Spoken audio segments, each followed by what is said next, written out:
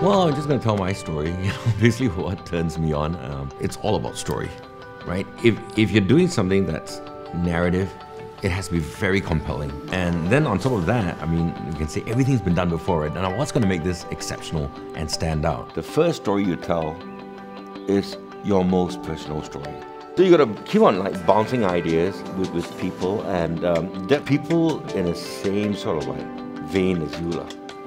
And I, I, I, think with that, you know, you can really start to hone your craft. Your calling card to what do you want to do, right? There is that liberty of making something that has never been seen before. I don't think I could have just done that feature without having done those shorts or, you know, having gone to other festivals, meet other short filmmakers. But it is a very different time now than when I first started because back then there was no internet. I mean, there was no YouTube. I think now, right, really is the time for anyone with talent to be able to go very far. The sweetest shorts that I've seen also come from the heart.